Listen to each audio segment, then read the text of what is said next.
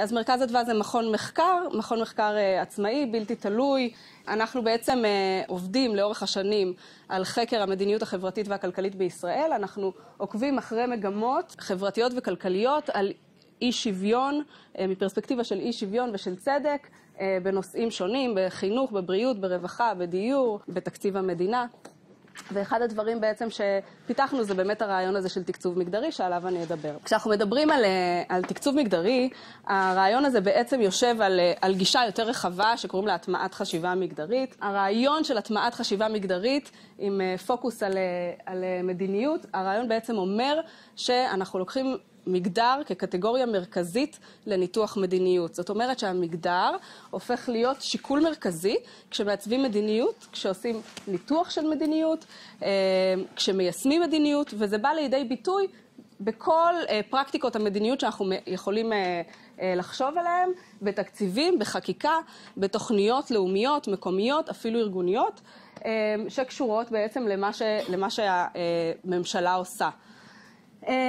וכשאני מדברת למשל על, על תוכניות, אז אם, ה, אם למשל המדינה אומרת, אני רוצה עכשיו להעלות את שיעורי התעסוקה של האוכלוסייה הערבית, או האוכלוסייה החרדית, אז הרעיון של הטמעת חשיבה מגדרית אומר, נשים ערביות שונות בצרכים ובמיקומים שלהן מגברים ערבים, ולכן כשאנחנו באים לתכנן תוכנית כזאת, אנחנו נביא בחשבון גם את הצרכים של הנשים הערביות, גם את האילוצים שלהם, גם את המקום שלהם במבנה החברתי, ואנחנו נתכנן מדיניות אחרי שהבאנו בחשבון את כל זה. הרעיון של gender mainstreaming הוא לא להתעסק רק בנשים, זו תפיסה שהיא תפיסה חברתית, שבסופו של דבר כשמיישמים אותה, אם מיישמים אותה נכון, היא מיטיבה עם כולם. והיא צומחת מתוך הנחה למעשה שהמדיניות הציבורית היא לא ניטרלית, כל מדיניות באשר היא, זה לא משנה אם, זה, אם היא קשורה לספורט או לרווחה או לתרבות או לתעסוקה, מדיניות היא לא עניין ניטרלי, וזאת מכיוון שלגברים ולנשים בחברה יש צרכים שונים, הם נמצאים במיקומים שונים בחברה ובכלכלה, ולכן הם צורכים שירותים ציבוריים וצורכים גם תקציבים בדפוסים ובהיקפים שונים. למה מגדר בעצם? נכון, אז, חלוק, אז קודם כל זו חלוקה בסיסית. כשאנחנו חושבים על אה, חלוקות חברתיות שונות, החלוקה הגדולה ביותר, הרחבה ביותר, היא באמת בין גברים ונשים. אה, קשה מאוד להתייחס לנשים כאל קבוצה חברתית, נכון? הם מעל 50% מהאוכלוסייה. אה, אז זה באמת דבר אחד. והדבר השני, שמדובר פה בקטגוריה שחוצה את כל הקטגוריות האחרות. כשאנחנו חושבות על מגזרים, כשאנחנו חושבות על אה, מעמדות, על קבוצות גיל, בכל, בכל קבוצה כזאת יש גם גברים וגם נשים. והאילוצים שלהם והתפקידים שלהם והמיקומים שלהם הם שונים. ולכן באה התפיסה הזאת ואומרת, אנחנו נתחיל להכניס מגדר כשיקול מרכזי. כי אם לא נעשה את זה, בעצם המדיניות, ואנחנו נראה איך זה קורה, תייצר הטיות. אוקיי? וההטיות האלה...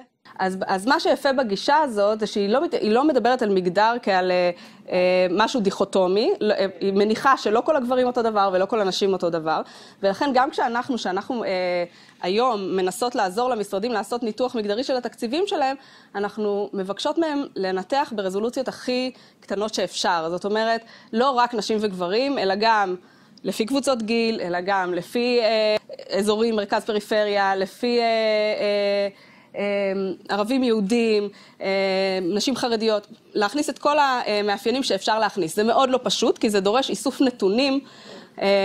מאוד מאוד רחב, לא לכל המשרדים יש את זה, גם אם יש את זה, הם לא במודעות של לפרסם ולהכניס את זה לניתוח, אז יש הרבה חסמים ויש הרבה, זה תהליך, זה תהליך ארוך, אנחנו נדבר עליו, זה תהליך חינוכי, יש לו התנגדויות, זה, זה ייקח זמן. אז תקצוב מגדרי הוא בעצם, הוא בעצם פרקטיקה מאוד ספציפית של הטמעת חשיבה מגדרית, בסדר? זה לקחת את הרעיון הזה של הטמעת חשיבה מגדרית וליישם אותו בתקציב.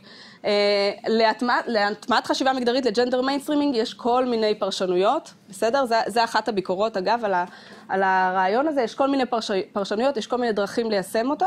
כשמדברים על תקציב, אנחנו מדברים על דוגמה מאוד מאוד קונקרטית, קל לנו מאוד uh, לתפוס אותה, בגלל שיש לנו איזה שהם מספרים וחלוקה שלהם, uh, זה, זה קצת פחות... מעורפל באופן יחסי להטמעת חשיבה מגדרית. אה, וכשאנחנו אה, מדברות על זה, אנחנו מדברות באמת על לבחון את ההשלכות של תקציב המדינה או התקציב העירוני על גברים ועל נשים ועל קבוצות שונות אה, בתוכם. אנחנו באמת מסתכלות על כל תהליך התקצוב מרמת התכנון ועד רמת הביצוע, וההנחה פה אה, מאוד אה, דומה להנחה של אה, הטמעת חשיבה מגדרית. ההנחה פה אומרת, תקציב זה לא דבר ניטרלי, זה מסמך פוליטי, זה מסמך שמשקף סדרי עדיפויות, משקף אינטרסים, ולכן הוא לא נועד רק לעיניהם של כלכלנים ורואי חשבון, אלא כדאי לנו כאזרחים ואזרחיות במדינה הזאת להבין בעצם איך נראה התקציב ואיך הוא מתחלק, ואתם, כשבאתם לקורס הזה, בטח כבר הפנמתם את הגישה הזאת. אז זאת באמת הנחת המוצא אה, של תקצוב מגדרי. אה, כמה מטרות. בעצם המטרה הראשונה שלי, כשאני באה לנתח באופן מגדרי את התקציב, זה לחשוף דפוסים של אי שוויון.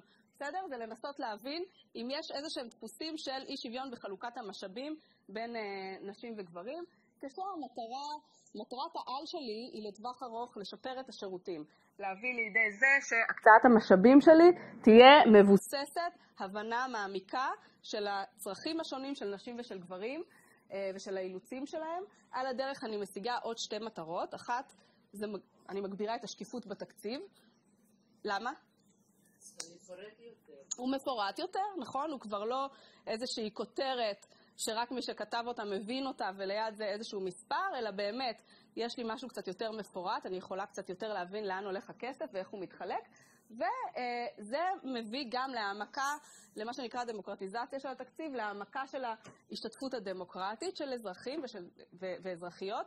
למה? כי בעצם ברגע שהתקציב שקוף יותר, אז קבוצות שונות באוכלוסייה יכולות לתבוע את חלקן, נכון? הן יכולות בעצם אה, להסתכל ולהגיד, רגע, למה אה, אני מקבלת פחות או למה אני מקבל פחות. כשאנחנו מדברות על תקצוב מגדרי, אנחנו לא מדברות על התקציב של המשרד לשוויון חברתי ובאופן ספציפי לתוכניות שלו, אנחנו מתייחסות לתקציב כולו. אנחנו מדברות גם על תקציב התרבות והספורט וגם על תקציב המדע וגם על תקציב הביטחון, שאם אי פעם מישהו ייתן לנו אה, לראות אפילו חצי ממנו, אז אה, נוכל לדבר גם עליו, כן. אה, אבל זה נכון שתשתיות זה דבר שהוא... שהוא קצת אה, tricky מהבחינה הזאת, זה לא מובן מאליו, וצריך לחשוב על זה קצת אחרת. הייתה לנו לא מזמן אה, אה, פגישה במשרד הבינוי והשיכון. אז אחד מה... יש להם, לא תקציב ענק, אבל תקציב שהולך לכל מה שקשור לשיקום שכונות. בסדר? ואז הם אמרו, בעצם פה אנחנו יכולים אולי לדבר על שיקום שכונות חברתי, כי זה בעצם כל המבנה ציבור וחברה וזה, אפשר אולי להסתכל על זה במבט מגדרי, כי לאן הולכים ה...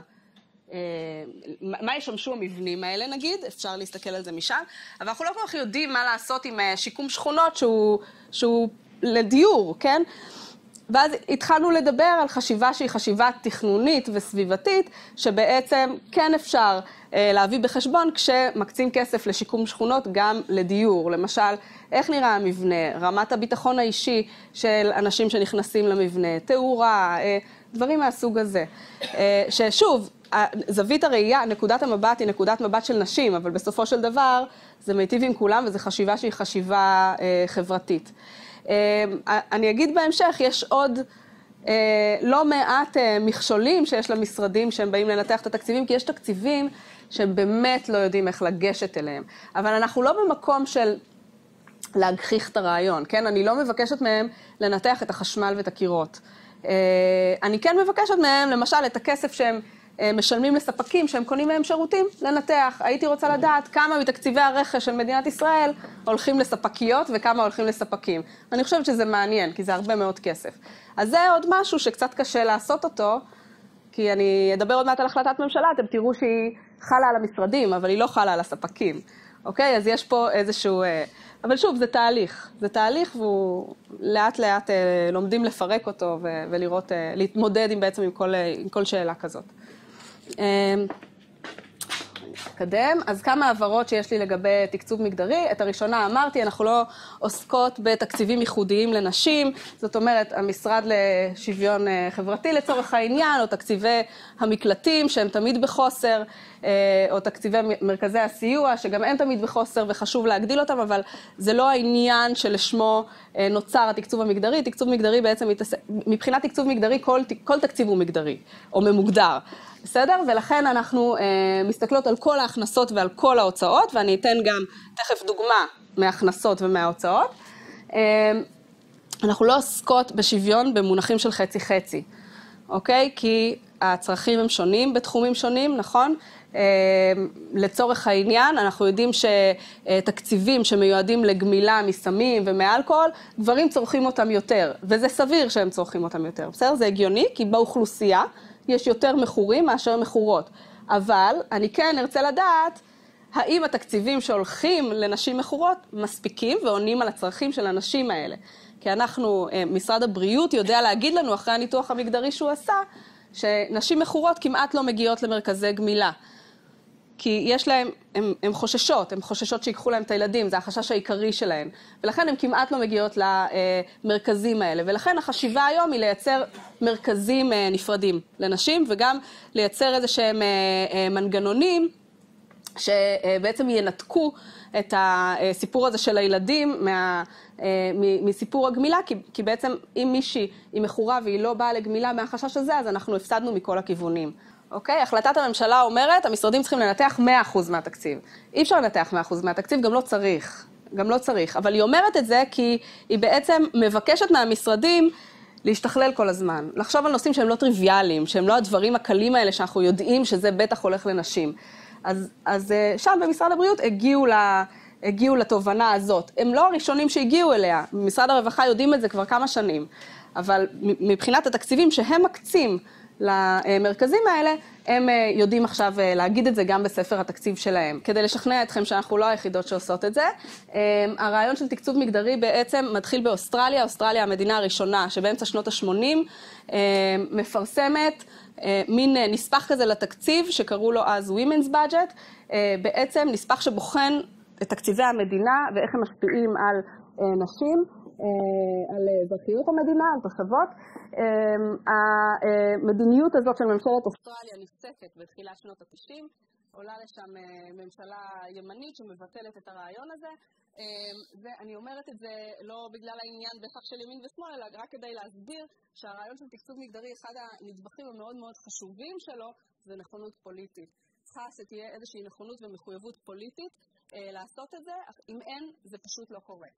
אה, דרום אפריקה הייתה המדינה השנייה אה, שאימצה תקצוב מגדרי. היום המדינות שמובילות את הרעיון הזה, אה, מדינות אירופה, אה, בעיקר המדינות הסקנדינביות, אנחנו אה, יודעים להגיד שהן המדינות המובילות בכלל בחשיבה על כל הזמן איך להגביר את השוויון, כן, השוויון המגדרי ובכלל. אז גם שם, שוודיה ונורבגיה הם המדינות שבהן יש בעצם מנגנונים הכי שיטתיים לניתוח מגדרי של התקציב. לא, לא מזמן נכנסתי לאתר של ממשלת שוודיה כדי לחפש שם משהו, ויש שם משהו מאוד מאוד יפה. קודם כל יש תמונה של הממשלה, שהיא כמובן אה, ממשלה אה, שמחציתה נשים ומחציתה גברים, וחוץ מזה הם כותבים על עצמם שהם the first uh, feminist government, uh, שזה פשוט מדהים, כן? אז אחד, באמת, אחד, אחת המטרות שלהם זה uh, תקצוב מגדרי. יש uh, מדינות שהרעיון הזה מעוגן בחקיקה, כמו בלגיה, כמו ספרד, כמו אוסטריה, אה, ואז בעצם החקיקה מדברת על איזושהי הדרגתיות אה, ביישום של הרעיון הזה. יש מדינות שחזקות דווקא ברמה האזורית, שזה למשל גרמניה וספרד. אה, ויש מדינות שעדיין ארגונים חוץ-ממשלתיים דוחפים את זה בעצם, החברה האזרחית דוחפת את הרעיון של תקצוב מגדרי. באנגליה הייתה איזו הצלחה זמנית כשמינו מישהי מתוך הארגונים האלה ברבע משרה בתוך משרד האוצר, אבל אז שוב, אה, היו קיצוצים תקציביים, וזה הדבר הראשון שמקצצים, אז בינתיים אה, הבריטיות נאבקות מבחוץ. אה, ויש לא מעט ארגונים בינלאומיים, כולל ה-OECD, כולל הבנק העולמי, שאימצו את הגישה הזאת ובעצם מחייבים את המדינות החברות ליישם אותה. מה זה מחייבים? הם לא יעיפו אף מדינה, כן? ה-OECD אנחנו... לא? הם לא, כי זה בכל זאת מגדר ויש פה סדרי עדיפויות. נכון, אז הוא עושה נו נו נו, אבל לא, זה לא משהו ש... בוא נגיד, זה לא משהו שבגללו אה, אה, יעיפו את מדינת ישראל מה-OECD, והיא לא תיישם כמו שצריך אה, תקצוב מגדרי, זה מין הנחיה כזאת למדינות לעסוק. גם להם יש סדרי עדיפויות, וגם בסדרי העדיפויות שלהם מגדר לא נמצא למעלה. בישראל... התחלנו לעסוק בזה, בעצם הראשונה שעוסקת בזה זה ברברה סבירסקי, מנהלת מרכז אדווה, כותבת מסמך ראשון בנושא הזה בשנת 1997, היא בעצם לוקחת את תקציב 98, תקציב המדינה ואת חוק ההסדרים, ועושה ניתוח שלהם, וזה מתפרסם. מאז ועד היום, כשאנחנו באדווה בוחנות את התקציב מפרספקטיבה מגדרית, אנחנו מנסות להתמקד בשלוש זוויות. הזווית הראשונה היא עובדות, עובדות ועובדים, בסדר? איך התקציב או הקיצוץ התקציבי או השינוי בתקציב משפיע על מועסקות ועל מועסקים, איך זה משפיע על מקבלי ומקבלות שירותים, ואיך זה משפיע על חלוקת העבודה המגדרית שלא בשכר, בבית ובטיפול, מה שמכונה עבודה השקופה. למה זה חשוב הקטגוריה הזאת ומה הקשר שלה למדיניות? קודם כל זה אחד, זו, זו בעצם אחד המקורות המאוד איתנים, כן, ובסיסיים לאי שוויון גם בשוק העבודה, בסדר? העובדה שנשים עושות יותר עבודה בתוך הבית בלי שכר בעצם משפיעה על מה שקורה בשוק העבודה.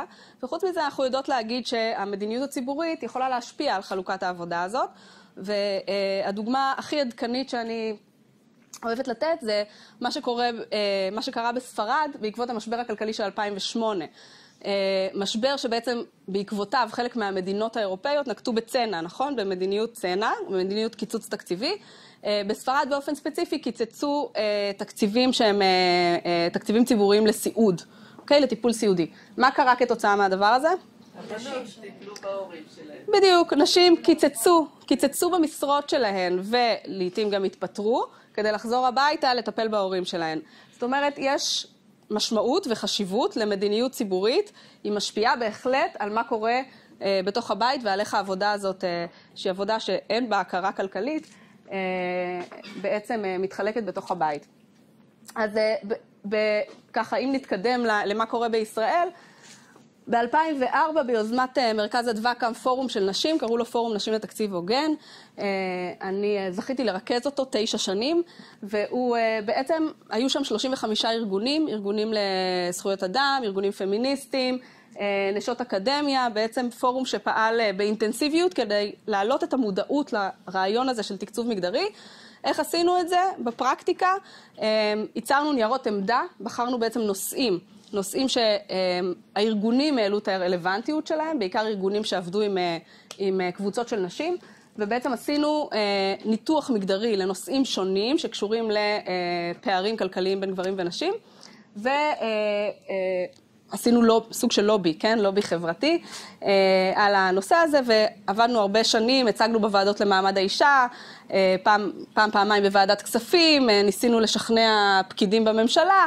הייתה, זו הייתה עבודה מאוד מאוד אינטנסיבית, כשב-2014 בעצם מתקבלת החלטת הממשלה. אני רק אעשה איזה פאוזה קטנה כדי להגיד לכם איך היא התקבלה, כי גם פה יש איזושהי, דיברתי קודם על נכונות פוליטית, ואני חושבת שזה חשוב להגיד את זה. אז כמו שאמרתי, כל שנה ניתחנו את התקציב מפרספקטיבה מגדרית, והגענו לוועדה למעמד האישה כדי להציג אותו. והיו ככה דיונים ומאבקים, לפעמים הצלחנו יותר, לפעמים הצלחנו פחות, היו סעיפים שהצלחנו להוריד מחוק ההסדרים, היו סעיפים שלא, וככה התגלגלנו משנה לשנה. ב-2013 באנו להציג את הצעת התקציב בעצם ל-2013-2014 במבט מגדרי בוועדה למעמד האישה, מי שהייתה אז יושבת ראש הוועדה הייתה עליזה לביא, אוקיי? והרעיון הזה מאוד מאוד תפס אותה. זה כדי גם ככה לדבר על החשיבות של נשים במוקדי קבלת החלטות. הרעיון הזה מאוד מאוד תפס אותה, וכשנגמרה הישיבה היא פשוט התקשרה ושאלה, מה אני עושה עכשיו כדי לקדם את הדבר הזה? אני רוצה שמדינת ישראל תתחיל לעשות בעצמה מה שאתם עושות מבחוץ כבר הרבה שנים. אז אמרנו לה, תראי, את באיזה מפלגה היא הייתה? מי היה שר האוצר? לפיד. לפיד, זה חלון הזדמנויות מדהים. הוא לא קורה הרבה. תחשבו היום מי יו"ר הוועדה למעמד האישה ומי שר האוצר, הם לא נפגשים, בסדר? לא נפגשים. פה זה חלון הזדמנויות מדהים.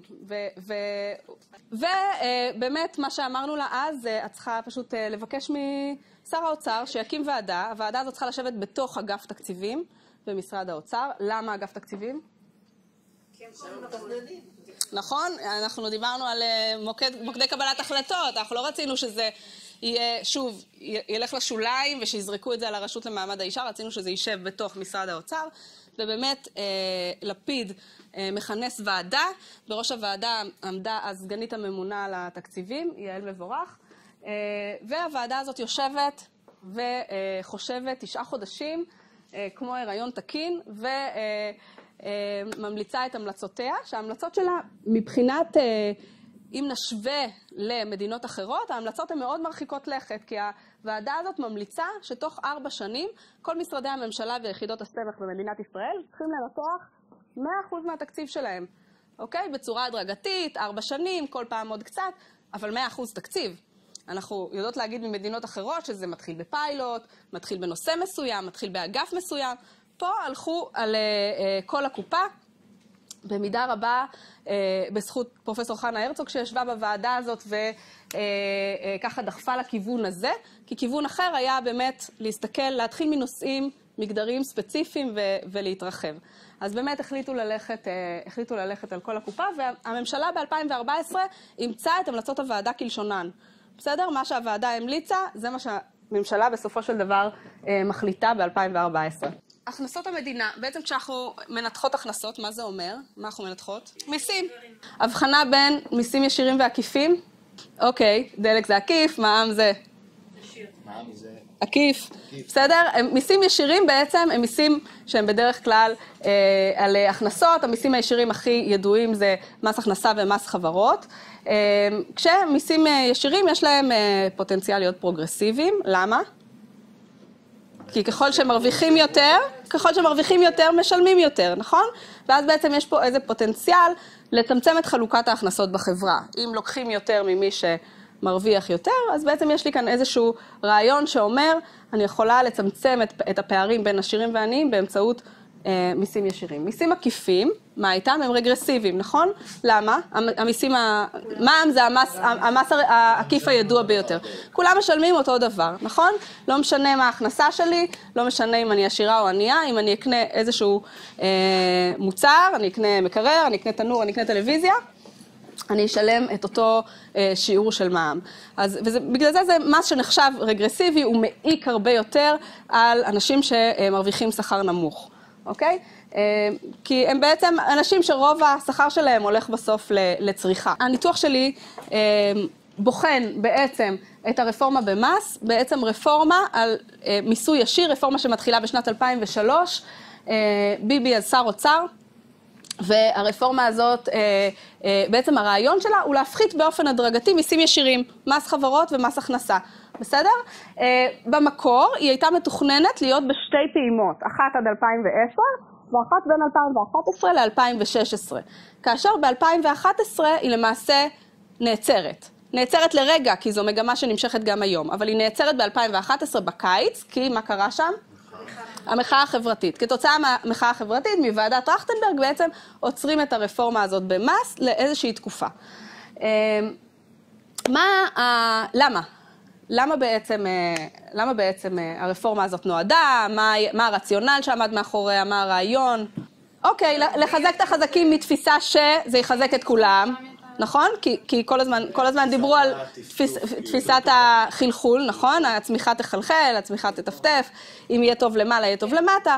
לא רוצים שחברות יברחו, נכון? לא רוצים שישקיעו בחוץ, רוצים שישקיעו פה. אה, אה, וגם מתוך תפיסה של, אם אני מחזירה עכשיו לאזרחים שלי יותר כסף לכיסים, אני גובה מהם פחות מס הכנסה, יש להם יותר הכנסה פנויה, ואז הם יכולים לבחור את השירותים שהם רוצים לקנות, נכון?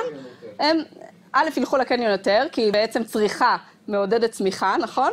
וגם, אבל גם את השירותים שהם צורכים, השירותים שלהם הציבוריים, החינוך, הבריאות, הרווחה, שיבחרו, בסדר?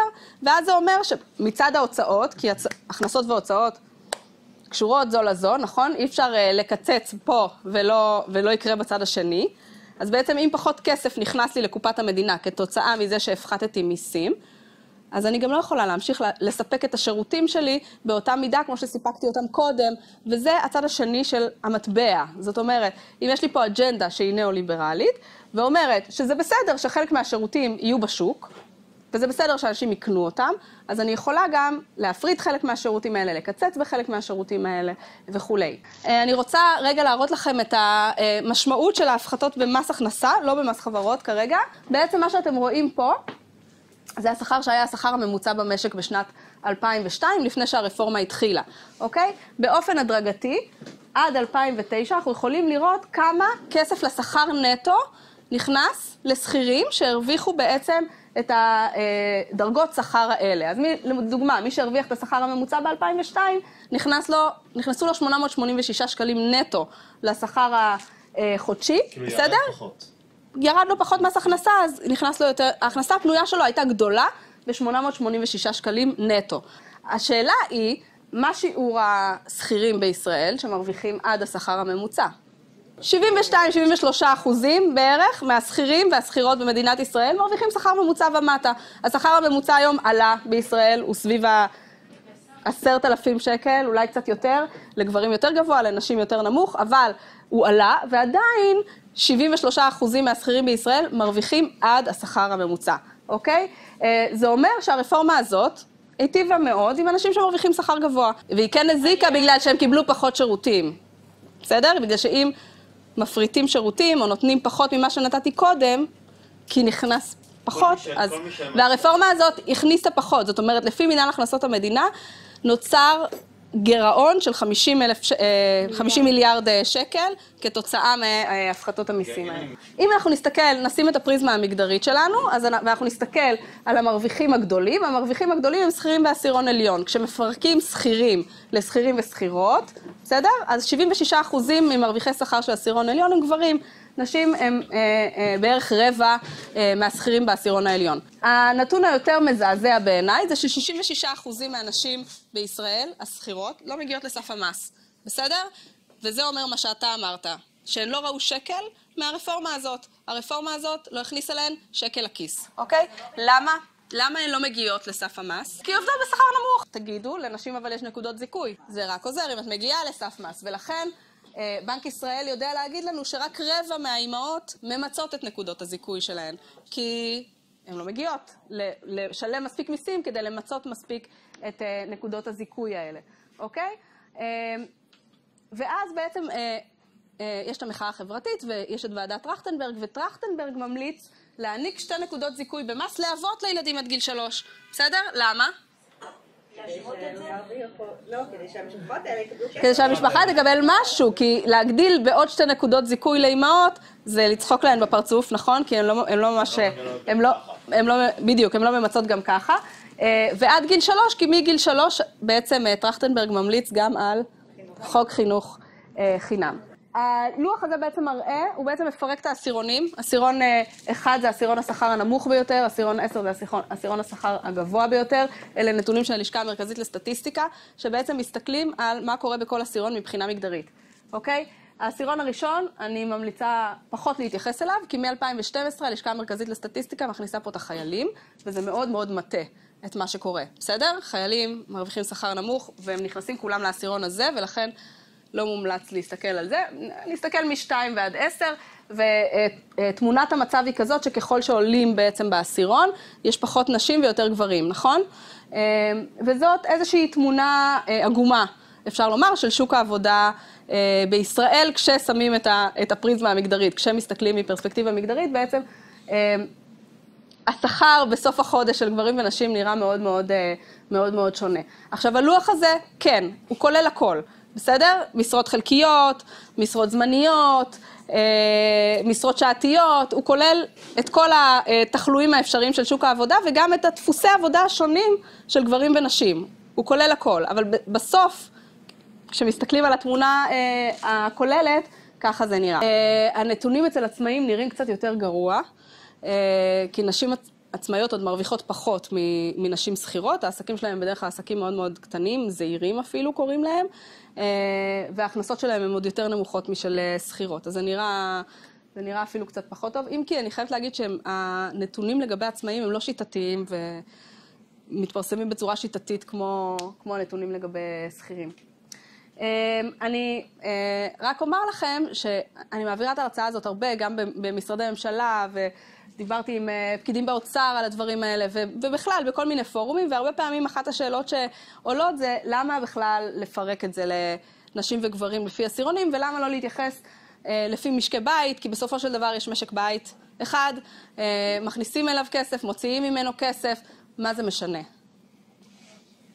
אז אני שואל, מחזירה אליכם את השאלה שלא שאלתם. זה יחסי תלות, שקופים, שלא רואים אותם. נכון, אז זה בדיוק, זה בדיוק הרעיון, ובגלל זה אה, כלכלניות פמיניסטיות בעולם מאוד מאוד מתעקשות על לפרק, ולהסתכל על אינדיבידואלים, ולהסתכל על נשים וגברים, ועל מידת העצמאות הכלכלית שלהם, ולנסות לראות אותה מעבר ליחסי התלות האלה בתוך, אה, בתוך משק הבית. וגם כי אנחנו יודעים שמשק בית זה, שליש מהם מתפרקים, נכון? אה, זה, הם לא, גם אלה שלא מתפרקים, הם לא בהכרח הרמונים, יש יחסי כוחות, יש אה, דיכוי כלכלי לפעמים, כל מיני. אז אה, נקודת מבט הזאת נותנת לנו אה, פרספקטיבה קצת אחרת. אחרי טרכטנברג, יש לנו לפני שנתיים את תוכנית נטו משפחה של כחלון, אה, והתוכנית הזאת בעצם מוסיפה עוד נקודות זיכוי למשפחה. בעצם מוסיפים עוד נקודות זיכוי להורים לילדים, גם לאימהות וגם לאבות. אה, זה הופך את נקודות הזיכוי להטבה מאוד מאוד גדולה. זו הטבה שפעם אה, הייתה משהו כמו מיליארד נקודה שבע, אה, והיא יועדה רק לנשים, והיום היא שוות ערך של חמישה ומשהו אה, מיליארד, שזו ההטבה השנייה בגודלה אחרי הטבות פנסיוניות. אה, ומתוך התוספת של נטו משפחה, נשים נהנות בעצם מ-18 אחוז. זאת אומרת, משרד האוצר, שהוא עושה את הניתוח שלו על מי בעצם נהנה מתוספת נקודות הזיכוי של אה, תוכנית נטו משפחה, הוא ראה שגברים בעשירון עליון הם המרוויחים הגדולים ביותר אה, מהדבר הזה. אז זה קצת כדי לחשוב שאם אנחנו רוצים לקדם בעצם, או, או לנסות... אה, לצמצם פערים בשכר או פערים במשאבים כלכליים, מערכת המס הישיר כנראה זה לא הדבר הנכון כרגע לקדם נשים באמצעותו, אוקיי? או לקדם את השכר של נשים באמצעותו. אני אגיד, אני אגיד דבר, אני אומר את האמת, בסדר? הרעיון, גם של תקצוב מגדרי, גם של הטמעת חשיבה מגדרית, הם רעיונות שדורשים... ש, לא, שהם באים, באים ממקום של אמונה במערכת ציבורית חזקה וגדולה. זה The Clash, עם תפיסה ניאו-ליברלית של מדיניות, אוקיי? זה יש, זה, יש, יש, יש התנגשות, אין מה לעשות. התפיסה הזאת דוגלת בקיצוץ בממשלה קטנה, בכמה שפחות תקציבים ציבוריים, בסדר? והתפיסה הזאת דוגלת בלהרחיב. אז זה, זה נראה לי אולי התשובה הכי... טוב, לגבי הצעות, הוצאות, אנחנו בעצם מסתכלות על, על המשמעויות של קיצוצים במגזר הציבורי, זה יכול להיות קיצוצים, זה יכול להיות הפרטות, זה יכול להיות תוספות, אנחנו תמיד, שוב, נסתכל על זה משלוש הפרספקטיבות שציינתי קודם, פגיעה במשרות של נשים, למה, למה אני קוראת לזה פגיעה במשרות של נשים? כי נשים מהוות שני שליש מעובדי המדינה, והן מהוות רוב בעצם בכל... עובדי המערכות הציבוריות, חינוך, בריאות ורווחה, ולכן ברגע שיש לי פחות תקנים, פחות כסף, אני מקצצת בבסיס התקציב, בעצם הראשונות להיפגע יהיו נשים.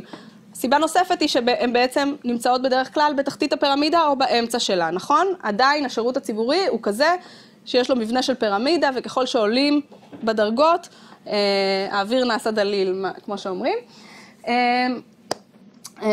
אני אדלג על דוגמאות ההפרטה האלה, כי אין לנו מספיק זמן לדבר עליהן. אנחנו מסתכלים גם על השפעות, הצרכנ... על, השפעות על נשים וגברים כצרכנים, בסדר? מי צורך את שירותי הרווחה? איזה סוגים של שירותי רווחה נשים צריכות?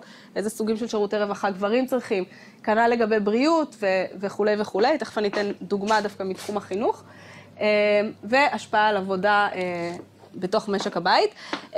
דוגמה מחוק ההסדרים האחרון. היא הדוגמה של חוק יום לימודים ארוך, בסדר? חוק יום לימודים ארוך, הוא, יודעים מי העבירה אותו? תמר גוז'נסקי, בסדר? היא הרבה מאוד שנים כבר לא נמצאת בכנסת.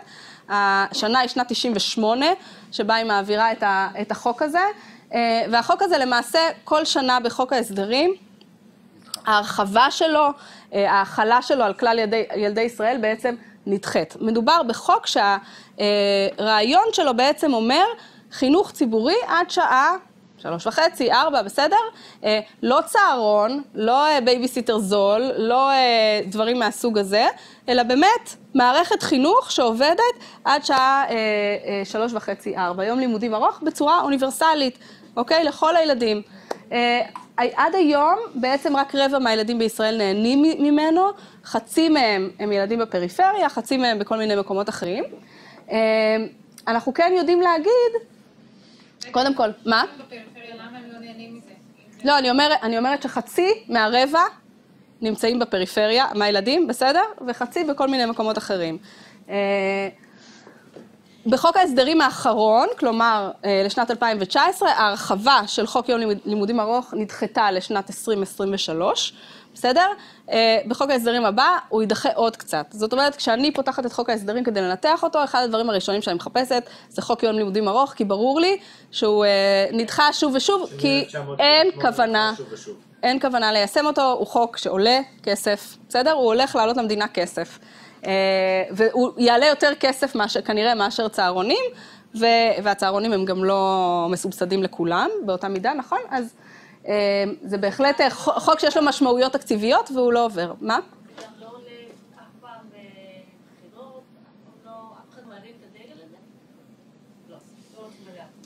לא מספיק, יש דגלים אחרים, כן. גם מרים את הדגל, אגף התקציבים מוריד את הדגל.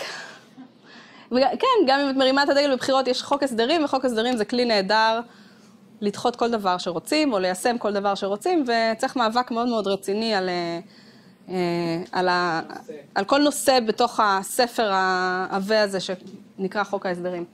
אה, במקומות שבו כן מיושם החוק הזה, וזו עבודה של בנק ישראל והלשכה המרכזית לסטטיסטיקה, רואים שיפור בשכר של נשים ורואים שאימהות, בעיקר חד-הוריות, עובדות יותר שעות ובהיקפים אה, יותר גדולים, נכנסות יותר למעגל העבודה.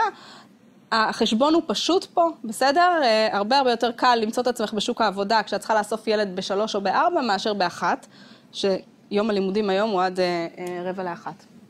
דווקא אמסטרדם, אם צריך להגיד, הולנד בכלל, לפני כמה שנים ניסתה ליישם רפורמה כזאת שמאפשרת משרות חלקיות למי שרוצה. אוקיי? באמת לאפשר לאנשים לאזן יותר. התוצאה של זה הייתה שבעיקר נשים לקחו את זה, וזה הגדיל פערים. קוראים לזה המחלה ההולנדית, כי באמת יש שם, אה, יש שם נשים בשיעורים מאוד מאוד מאוד גבוהים בחלקי משרות, וזה משפיע, משפיע על הפנסיות שלהם, משפיע על יכולת ההשתכרות שלהם. אז החצי משרה זה דבר בעייתי. אה, שש שעות ביום זה, זה דבר בעייתי, אבל אני מסכימה איתך שעבודה של עשר שעות ביום זה דבר מופרך, כאילו, של 48 אה, שעות שבועיות או וואטאבר, זה, זה, זה מוגזם, זה מוגזם וזה מופרך. אז אני מסכימה איתך שאחד הדברים שצריך ליישם זה ללא ספק אה, קיצור שעות עבודה שבועיות. כאילו, אין לי ספק בזה בכלל, וזה יהיה טוב גם לגברים וגם לנשים. כן. במקומות שהוא לא מיושם, למה הוא לא מיושם? כי לא, כי, כי לא מרחיבים אותו. לא, לא מרחיבים אותו, לא מכילים אותו על כולם. אין, כאילו, המדינה לא מקצה את הכסף. לא, זהו, זה, זה נתקע ב, בהיקף מסוים, והוא לא מתרחב מעבר. בסדר? במקומות שהוא לא מיושם, יש צהרון, טוב לך תשלמי, אין לך אל תשלמי. יש גם אה, תוכנית לסבסוד צהרונים לעשירונים נמוכים, כן? יש, זה לא שזה לא קיים. אוקיי, אז אלה עיקרי החלטת הממשלה. בעצם אה, אה, כל משרדי הממשלה ויחידות הסמך צריכים ליישם אה, ניתוח של כלל התקציב. הניתוח מתפרסם בספרי הצעת התקציב, מה שנקרא הספרים הכחולים שמשרד האוצר מפרסם, ספרי הצעת התקציב. אתם תמצאו עכשיו בכל אחד מהספרים האלה פרק שקוראים לו ניתוח מגדרי של התקציב. זו בעצם הרגל בדלת מבחינתנו. היישום ייעשה בהדרגה על פני ארבע שנים, עד 2018, אנחנו כבר שם, נכון? יש ועדת היגוי, ועדת היגוי הזאת היום היא נמצאת אה, אה, ברשות למעמד האישה, היא הייתה לפני זה במשרד לשוויון חברתי, בעצם מהבחירות האחרונות יש עוד משרד, זה המשרד לשוויון חברתי, וזה עבר אליו, ואחר כך עבר לרשות למעמד האישה. אה, אנחנו מלווים את התהליך הזה, כן, כי אנחנו יועצות חיצוניות, ויש איזשהו פיקוח פרלמנטרי, זאת אומרת, הוועדה למעמד האישה ועאידה תומא סולימאן שעומדת בראשה, בעצם כשמוגש התקציב היא מכנסת את הוועדה וקוראת לנציגים ממשרדי הממשלה ושואלת אותם, מה עשיתם, איך עשיתם, מה אתם מתכוונים לעשות עם הנתונים האלה. זאת אומרת, יש כאן עוד איזשהו אה, מנגנון שאמור לפקח על זה שהתהליך הזה קורה. מה? כן. שמשהו יתבצע. הנה, זה למשל, אה, אה, זו למשל דוגמה מספר הצעת התקציב. אה, במקרה הזה זה משרד הכלכלה והתעשייה, שנת 2017-2018, ואתם יכולים לראות, יש פה פרק ו', ניתוח מגדרי של הצעת התקציב, זה פרק קבוע שיש בתוך כל ההצעות של משרדי הממשלה. כשמה בעצם המשרדים צריכים לעשות? המשרד, למשרדים יש מתווה, אוקיי? שהם אמורים לעבוד איתו, והוא מכיל חמישה מרכיבים שהם צריכים להתייחס אליהם. הם צריכים להתייחס לשכר, בפנים, כאילו לשכר של העובדים שלהם, בצורה מאוד מאוד כללית. מבקשים מהם בעצם איזשהו נתון על שכר חציוני במשרד, ושכר חציוני של בכירים ובכירות במשרד. אה, מבקשים מהם לעשות ניתוח של תקציבי פעולות, אוקיי? כל הפעולות בעצם אה, שהם עושים. ניתוח של תקציבי תמיכות, תמיכות במוסדות למשל, אוקיי? אה, תשלומים לספקים, שאמרתי לכם שזו... זה, זה דבר מאתגר, ועדיין רוב המשרדים מאוד מאוד מתקשים לעשות את זה. אה, והם צריכים לעשות איזשהו ניתוח של ייצוג בוועדות ממשלתיות, מתוך הנחה שייצוג של גברים ונשים בוועדות ממשלתיות זה ייצוג באיזשהו מוקד כוח, שבו אה, אה, מתקבלות החלטות חשובות, למשל ועדת מכרזים, היא ועדה מאוד מאוד חשובה בתוך המשרד, וחשוב בה, שיהיה בה ייצוג גם לנשים. אז תכף אנחנו, תכף אנחנו, כן, תכף אני אגיד על זה משהו. אה, אני אתן לכם דוגמה על שכר, למשל זה מתוך ספר התקציב של משטרת ישראל. משטרת ישראל היא בעצם כפופה למשרד לביטחון פנים, בסדר? היא אחד מהגופים הכפופים למשרד לביטחון פנים. אה, כשאנחנו מסתכלים על ניתוח השכר החציוני של המשטרה, הבאתי את זה כדוגמה, כי זו דוגמה טובה. חלק מהמשרדים לא עשו ניתוח כזה טוב. אה, זו דוגמה טובה, הם לקחו דרגות שונות ובעצם הסתכלו על השכר של נשים ועל השכר של גברים. אנחנו רואים שהניצבת היחידה במשטרה מרוויחה קצת יותר מהחברים הגברים שלה, אה, ובשאר הדרגות אנחנו רואים אה, אה, פערים לטובת הגברים. המתווה לא מבקש רק להציג נתונים, הוא מבקש להסביר אותם. אם אתם רואים פערים, תסבירו לנו ממה הם נובעים, והמשטרה עושה את זה, מצו... עושה את זה בניתוח שלה, ותגידו לנו איך אתם הולכים לתקן אותם. בסדר? שזה כמעט אף אחד לא עושה, אבל המשטרה עשתה את זה, כן? היא כתבה, אנחנו אה, הולכים אה, לעשות כך וכך כדי לקדם יותר נשים למשרות בכירות. זאת אומרת, אה, הניתוח של, המש... של המשטרה בהקשר הזה הוא ניתוח אה, טוב ורציני. הממונה על הכנסות המדינה, במשרד האוצר, עושה כל שנה ניתוח, ניתוח של שכר, בסדר? בשירות המדינה, הוא עושה גם ניתוח של פערי שכר מגדריים בשירות המדינה, הוא עושה את זה, לא אנחנו. אה, והוא מראה בצורה שיטתית שיש פערים בין נשים וגברים, גם כשהם נמצאים באותן דרגות. אוקיי? למה? בגלל שיש כל מיני תוספות שונות ומשונות, שגברים מנצלים יותר מאשר נשים, בתוך שירות המדינה, אוקיי? אז, אז הם יכולים להיות עם אותו ותק, עם אותה השכלה, עם אותה דרגה, החזרי רכב, גברים מקבלים יותר. אה, כל מה שקשור לשעות נוספות, מנצלים יותר. בגלל זה עכשיו המדינה הלכה לרפורמה שמאפשרת עבודה מהבית בחלק מהמשרות, כי הבינו שנשים הולכות, אוספות הילדים, מטפלות בילדים, פותחות המחשב בלילה, ממשיכות לעבוד ולא מקבלות על זה שכר. אז בעצם מאפשרים להם עכשיו בחלק מה, מהדרגות להתחבר למחשב מהבית ולקבל על זה שכר. אמ, אז זה לא כל כך מדויק, וזה לא נתונים שלי, זה הממונה על הכנסות המדינה. אה, מה זה? יכול להיות שבמשטרה זה לא קיים, אני לא מכירה באופן ספציפי. תשמעו, אין לנו כל כך הרבה, אני רוצה לתת עוד דוגמה, טוב? כן. אני אתן אה, עוד איזה דוגמה. יש איזה גוף שככה אה, משתדל לעשות את ה... כל, כל הגופים עושים ניתוח של שכר. פשוט נתתי את זה כדוגמה אחת, כי היא דוגמה טובה. אני נותנת דוגמה של, של פעולות, בסדר? דוגמה אחת של פעולות, זה, זו דוגמה של משרד המדע. שבעצם לקח את הפעולות העיקריות שהוא עושה, שזה מדע בקהילה, פעילות בינלאומית ומחקרים ומלגות, ופילח אותם. מדע בקהילה זה פעילות בעצם בבתי הספר, אוקיי? ושם המצב אה, בסדר, סביר. אה, פעילות בינלאומית זה כסף שהולך לחוק, לחוקרים שמשתפים פעולה עם חוקרים בזירה הבינלאומית, ומחקרים ומלגות, אני לא צריכה להסביר מה זה, אוקיי? אה, המשרד מראה לנו כאן פער, אוקיי? בין הכסף שהולך לנשים והכסף שהולך לגברים. זה מה שהוא מראה. מה חסר לי פה? לפני זה.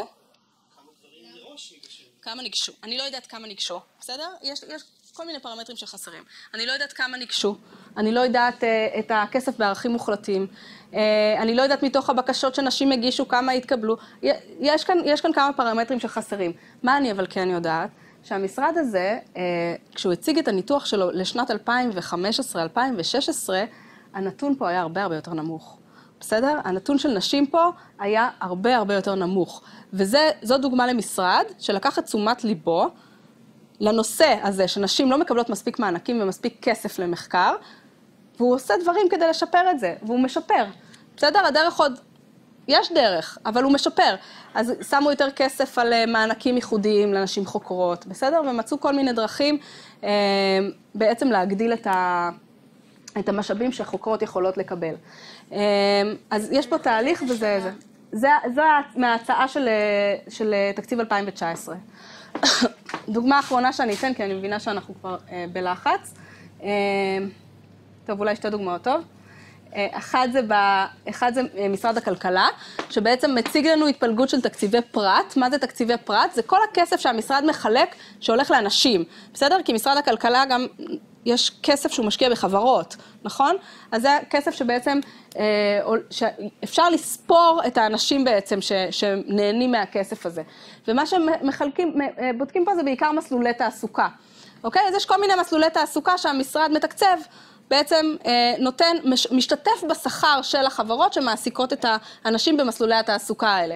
אז למשל אנחנו יכולים לראות שיש מסלול תעסוקה כללי, שבו החלוקה היא אה, עוד אה, סבירה, אבל יש כאן מסלולים שאנחנו לא כל כך מבינים מה, מה קורה בהם, בסדר? מסלול תעסוקה בשכר גבוה, 9% מהכסף הולך לנשים.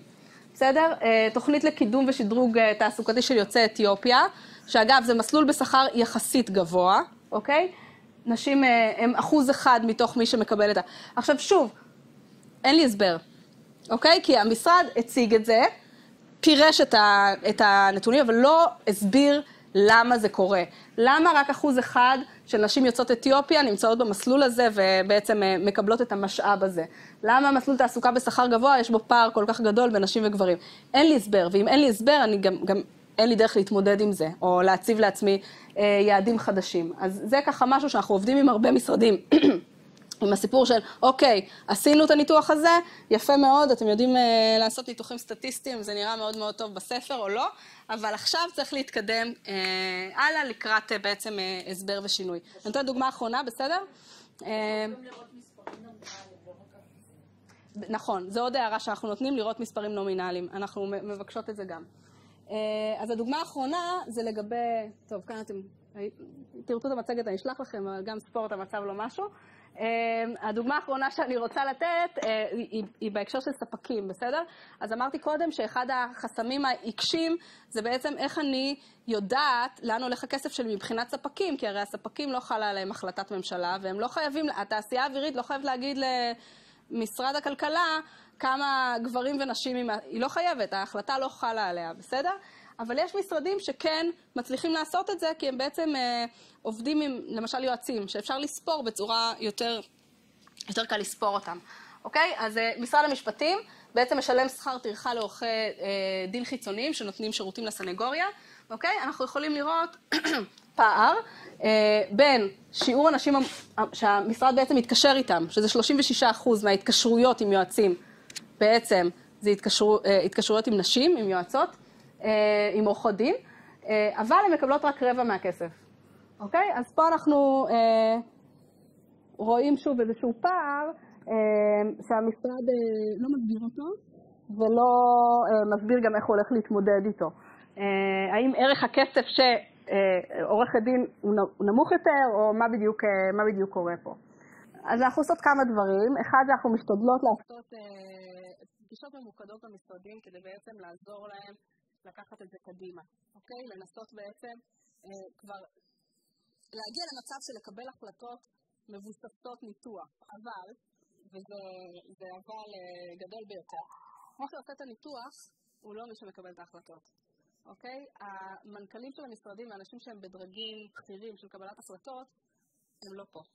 אוקיי? הם לא עדיין מעורבים בתהליך, הם לא מודעים מספיק לתהליך. בסדר, יש התנגדויות מרמת ה... זה עוד עבודה בשבילי ולמה אני צריכה לעשות את זה, ועד רמת אני באמת לא מבינה מה את רוצה, ונראה לי שהמצב בסדר גמור, כאילו מ... הכחשת, ה... הכחשת ה... הפערים. מדינות שהתקדמו עם זה באמת, כאילו, ונמצאות במקום אחר, הן כבר עושות את זה 20 שנה. צריך לקחת בפרופורציה את הדבר הזה, תהליכים לוקחים זמן, במיוחד שהם תהליכים שהם באמת מבקשים לשנות מהיסוד תפיסות עולם בתוך ארגון.